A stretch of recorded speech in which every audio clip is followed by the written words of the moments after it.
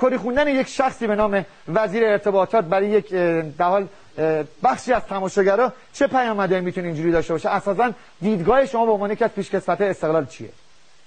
آیا کری خوندن هیچ ایرادی نداره. اینکه شما طرفدار یک تیم باشید باز هیچ ایرادی نداره. اینکه شما بیاین تیم خودتون تعریف کنید باز ایرادی نداره. خندیدن است. شما می‌تونید یه چیزی بگید با همدیگه بخندید ولی شما اجازه ندارید به یکی دیگه یه چیزی بگین که همه به اون بخندن. یعنی این بیادبی میشه. ضمن اینکه تو فرهنگ ما اصلا جا نداره. ما شاید اگه تو اروپا بودیم یه وزیری بیاد بگه مثلا تو آلمان آقا من طرفدار بایرن مونیخم که اصلا اونجا هم نیست. آقا مهدی سیلویو پلو... سیلویو برلوسکونی نخست وزیر ایتالیا بود سالیان سال مالک آث میلان هم بود. ولی من به شخصی یادم نیست که برای هوادار اینتر کری خونده باشه. بله. من فکر می‌کنم که این آیه وزیر دنبال یه چیز دیگه است. خیلی منطقی و رو آقا مهدی من بله. جایی این انتقاد وارده که حامی مالی هر دو تیم شرکت ایرانسل متعلق به وزارت ارتباطات و برای تماشاگر استقلال الان این توهم به حال این وجود میاد که نکنه مثلا پولای استقلال به موقع واریز نشه و این اتفاقات این چینی این کری خوندن فضا رو به این سمت و سو خواهد برد. این اصلا خیلی راحته. تو این چند ساله که همش اینجوری بوده دیگه. حالا ما نگی مستقیم.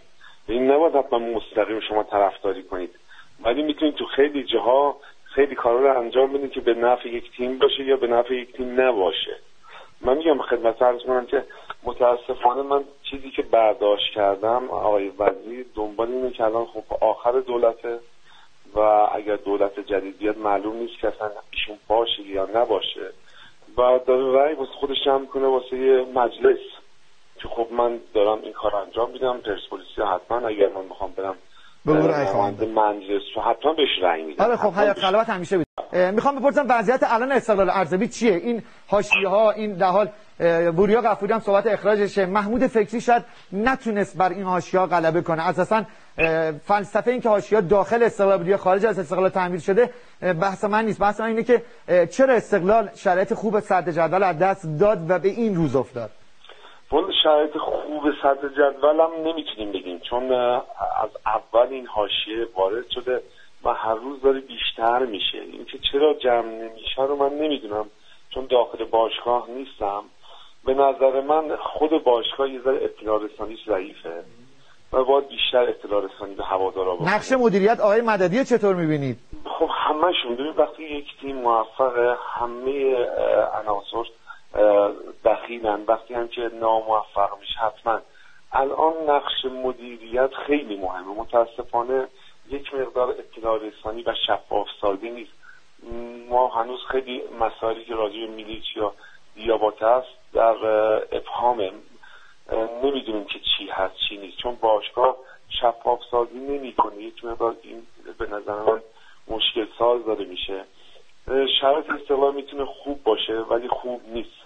طرفداران ناراضی و حق دارن آقا مهدی نقش اذیت میشن نقش بزرگی مثل وریا قفوری که به عنوان کاپیتان تیم می‌تونه خیلی نقش محوری باشه شاید الان رنگ و بوی دیگه ای به خودش گرفته. خود در مرکز توجهات حاشیه‌ای تو استقلال هست. حالا عدم به پرداخت به موقع حقوق ها زمین تمرین نامناسب و و و وضعیت تغذیه‌ای که خیلی بولد شد توی رسانه نقش کاپیتان تیم استقلال تو این شرایط می‌تونه به چه صورت باشه که این حاشیه‌ها کمتر آسیب خب نقش کاپیتان خیلی ما هم خودمون کاپیتان استقلال بودیم خیلی جا ورود کردیم و خیلی مسائل رو اصلا جمع کردیم نداشتیم به باشگاه برسه یا به تفت. ولی میگم واقعا نمی‌دونیم. ببین هیچ کس نه بوریا میاد صحبت کنه نه کسی دیگه میاد مشخصا صحبت کنه و صحبت کردن ما هم شاید دامن بزنه به این حاشیه ها به نظر من یک یک نفر الان گم شده ما تو باشگاه استقلال داریم. یک نفری که بیاد وسط واقعا همه قبولش داشته باشن بتونه این مسائل رو جمع کنه.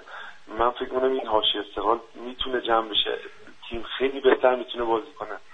ولی خب این مشکل اون کم بود اون یک نفری که به قول حالا آمیانه بگیم کتو در بیاره بیاد وسط میدون دو تا داد بزنه بیاره بشینه همه سر جاشون و اختلافا رو حل کنه.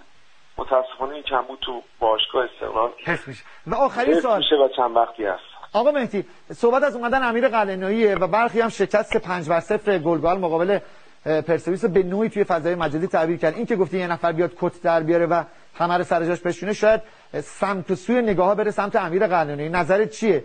اومدن امیر قلعه‌نویی نیومدنش با همین کاد ادامه بده و وضعیت ادامه مسیر رو برای استقلال چطور ارزیابی می‌کنی؟ آقای واعظ اصلا من منظورم آقای قلعه‌نویی قابل احترام و بزرگ ماست. ایشون به حال تو کارش وارده. منظورم این نبود که سرمربی عوض بشه. منظورم این بود که یه نفری که بتونه بیاد و این بین رو بگیره. آقای قلعه‌نویی کسی نیست که بیاد الان بشه مثلا نفر دوم سومی. این رو باید هیئت مدیره مدیر عامل تصمیم بگیره که چه کسی بیاد چه کسی نیاد. حرف آخرم اینه که این وضعیت هم باید روشن بشه. یعنی یا تمام قد بگن که ما می‌خوایم این کار انجام بدیم یه نفر دیگه بیاد یا تمام قد وایستن پشت محمود فکری و این خودش فنی حمایت کنه.